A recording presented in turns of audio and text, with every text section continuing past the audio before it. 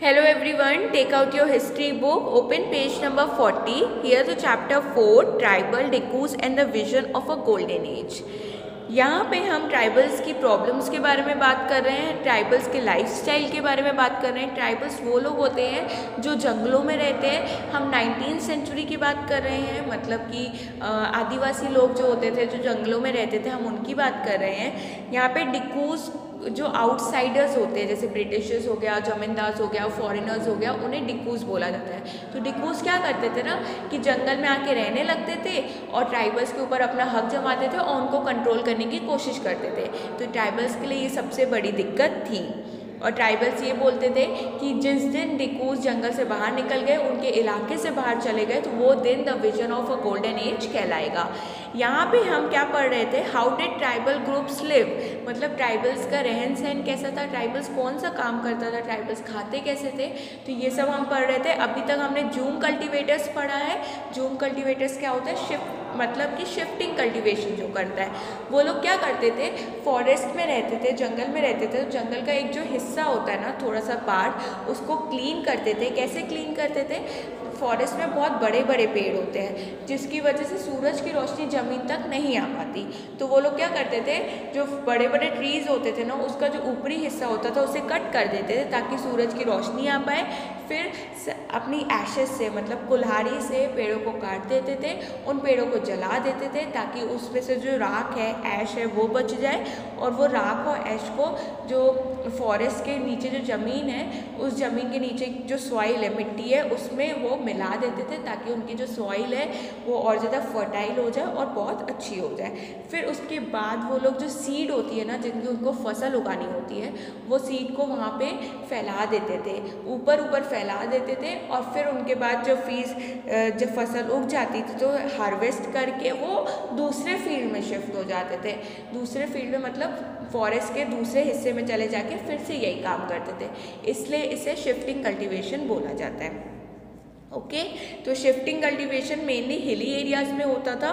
North east और central India के इलाके में शिफ्टिंग कल्टीवेशन ज़्यादा होता था. Okay okay? अब आप पेज नंबर फोर्टी में आओ.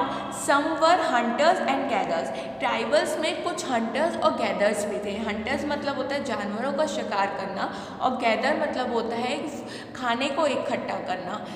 मतलब कि जानवरों का शिकार करना और अपने लिए खाना प्रोड्यूस करना मतलब उन्हीं जानवरों को मार के खाना और गैदर का मीन्स होता है कि जंगल में इधर उधर घूम के अपने खाने को इकट्ठा करना और अप, और खाना।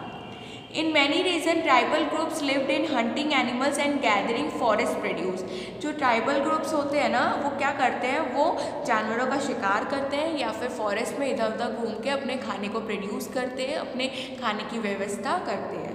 They saw forest and they they saw forest as essential for survival उनके लिए जो जंगल था ना, वो उनके लिए बहुत ज़्यादा इंपॉर्टेंट था उनकी ज़िंदगी के लिए, क्योंकि वो लोग वहाँ पे सर्वाइव करते थे, उनको खाना भी वहीं पे मिल जाता था। The Khonds was such a community living in the forest of Odisha Odisha के जंगल में एक ग्रुप रहता है, जिसका क्या नाम था? Khonds they regularly regularly went out on col uh, collection hunts and then divided the meat amongst themselves. वो लोग क्या करते थे? वो लोग रोज़ जानवरों का शिकार करते थे और जो उनका ग्रुप होता था ना पूरा कॉन्स का कॉन्स का तो वो लोग उस ग्रुप में जो लोग वो लोग जिस भी जानवर का शिकार करते थे उस जानवर को काट के अपने में आपस में बांट लेते थे। They ate fruits and roots collected from the forest and cooked food with the oil they extracted from the seed of the sal and mauna.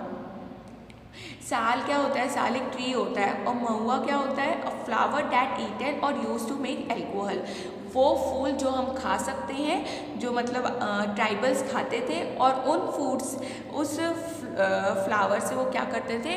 वो एल्कोहल भी बनाते थे। मतलब दारू होती है ना एल्कोहल उसे बनाते थे। तो वो लोग क्या करते थे कि उस फ़ूड को, उस फ्लावर को वो अपने खाने के लिए भी इस्तेमाल करते थे और उससे क्या करते थे? एल्कोहल भी बनाते थे।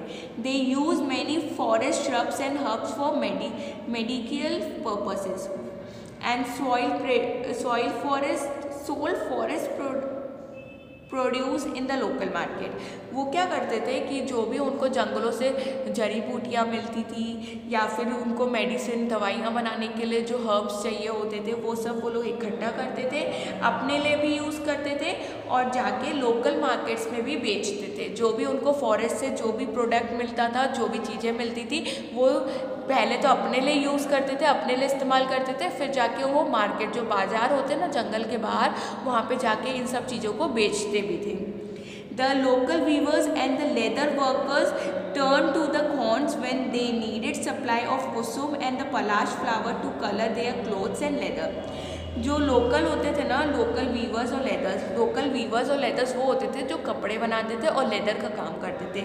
तो उनको कुछ फ्लावर्स कुछ फूल की ज़रूरत होती थी जो कि जंगल में होते थे और उन फ्लावर्स से वो क्या करते थे, उस पर अपने कपड़ों का कलर चढ़ाते थे। मतलब कपड़ों को अलग अलग कलर करते थे तो वो फ्लावर से चढ़ाते थे। पहले के टाइम पे जो रंग होते हैं ना, जैसे कलर्स हो गए तो वो किससे बनते थे? फ्लावर्स से बनते थे। जैसे अगर पिंक कलर का फ्लावर है तो बहुत सारे पिंक कलर के फ्लावर को इकट्ठा इकट्ठा करके अगर उसमें पानी डालोगे तो वो अपना कलर छोड़ने लगेगा।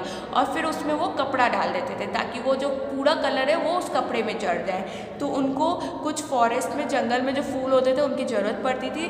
तो जो ट्राइबल्स क्या करते थे, उन चीज़ों को इकट्ठा करके जाके बाहर बाज़ार में बेचते थे, जिससे उनको अर्निंग होती थी। From where did these forest people get their supply of rice and other grains अब हमें ये जानना है कि जो ट्राइबल्स होते थे ना, उनको खाने के लिए चावल या फिर दाल, ये सब कहाँ से मिलती थी? At times they exchange goods getting what they needed in return for their valuable forest products वो क्या करते थे कि जो भी फॉरेस्ट से, जो भी जंगल से चीज़ें उनको इकट्ठा करते थे और जो उनकी ज़रूरत की चीज़ नहीं होती थी वो जाके मार्केट में बेचते थे तो उसके एक्सचेंज में उन्हें या तो सामान मिलता था या तो पैसे मिलते थे। At other time they bought goods with the small amount of earning they had कभी कभी उनको एक्सचेंज में मतलब बदले में सामान मिल जाता था या तो कभी कभी बदले में पैसे मिल जाते थे। Some of them did odd jobs in the villages, carrying loads or building roads. While other labor in the field of peasant and farmers.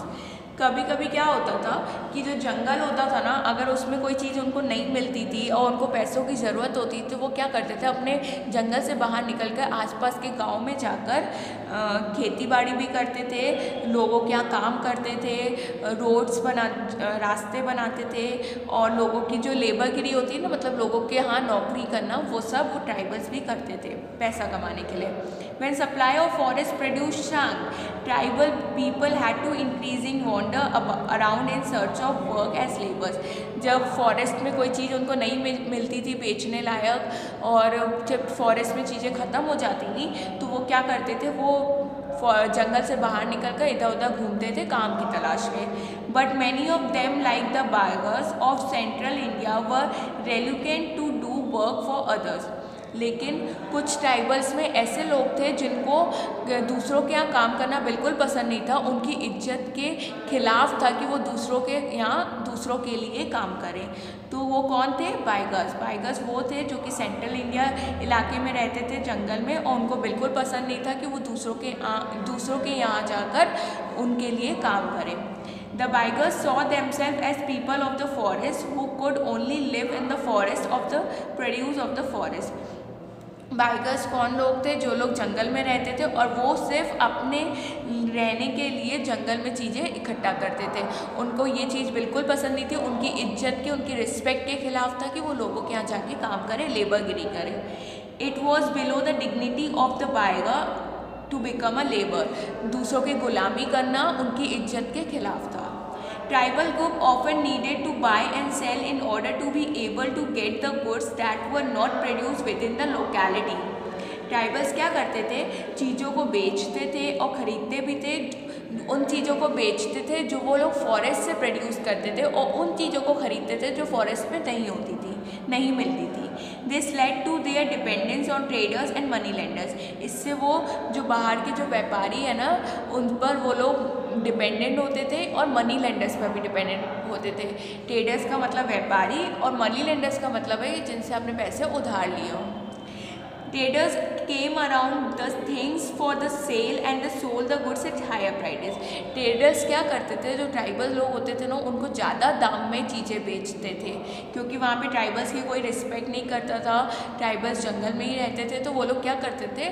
जो व्यापारी होते थे बाहर के, वो लोग ट्राइबल्स को ज़्यादा दाम में चीज़ें बेचते थे।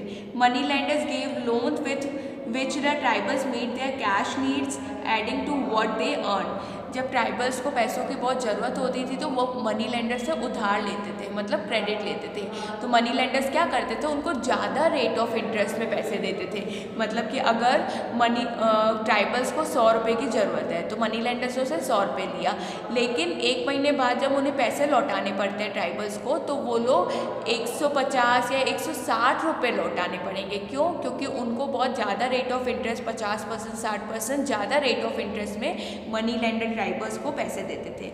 But the interest charge on the loan was usually very high जो इंटरेस्ट होता था, वो बहुत ज़्यादा होता था। So for the tribals market and the commerce often meant depth and poverty इससे ट्राइबल्स जो होते थे, वो गरीब होते जा रहे थे और ज़्यादा उधार में नीचे दबते जा रहे थे। मतलब कि उनके ऊपर बहुत ज़्यादा उधार आता जा रहा था।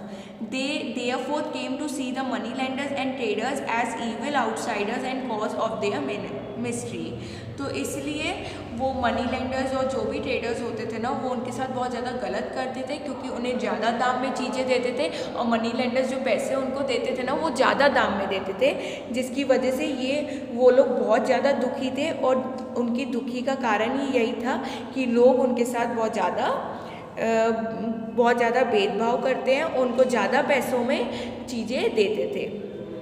तो ये ट्राइबल्स इन सब चीज़ों से बहुत ज़्यादा दुखी थे। ओके आगे का चैप्टर हम नेक्स्ट वीडियो में कंटिन्यू करते हैं। Thank you